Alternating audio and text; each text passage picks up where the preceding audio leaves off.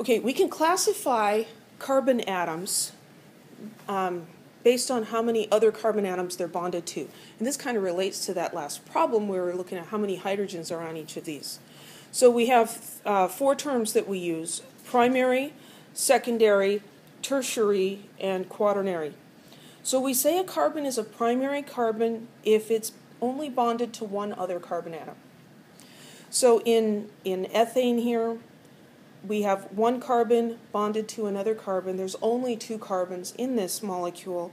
Both of these are primary carbons. They're only bonded to one other. And the abbreviation for this is the number one with a degree symbol. So that kind of looks like one degree Celsius, but what we mean is primary carbon. it's a secondary carbon if it's bonded to two other carbon atoms. So there's some sense here. One is primary, two is secondary, then three, if it's bonded to three carbons, it's tertiary. If it's bonded to four, it's quaternary. So propane, oops, I can't, I can't point on that part. That makes me crazy. Okay, here's propane. The middle carbon is bonded to two other carbons, and so it is secondary, but the ones on the ends are primary. When you're dealing with an alkane, only single bonds, the primary carbons will always have three hydrogens, the secondaries will have two, the tertiaries will have one, and the quaternaries will have no hydrogens bonded to them. So in this bottom example, we have this carbon is bonded to four other carbon atoms. It's got its four bonds with carbons, and it doesn't have any hydrogens. Any questions about that? And we'll be using this, this uh, system of classification throughout the course. Um, so examples. We need to do some examples. Um,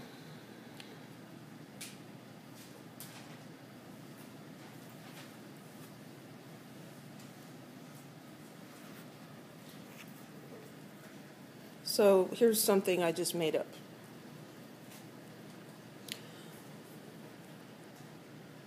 So let's look at a couple of different carbons. Let's look at this one, and this one, and this one, and that one. Okay, this guy on the end, primary, secondary, tertiary, or quaternary?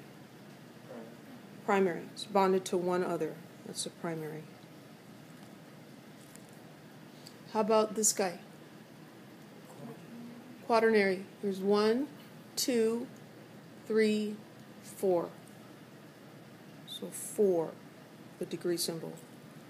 What about this guy? Three. Tertiary, bonded to three carbons. And that guy?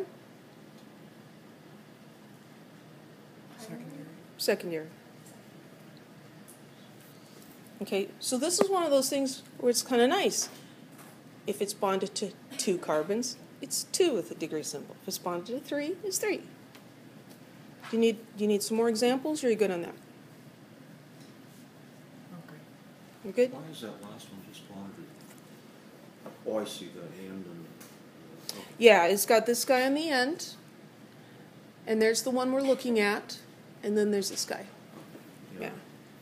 It, it, it, it's kind of an acquired skill to look at these line angles it's a little bit, you know, the, maybe the guys can relate to this. You look at the the football play diagrams and they get the X's and the O's and the letters and stuff, and I look at that and I'm like, what on earth? But other guys look at that scribbled and they they know exactly what's going to go on. Are they, you know, they privy to some secret knowledge? No, they've just looked at it enough that they can see it. And that's how this is. It's just being able to look at it and see what the patterns are.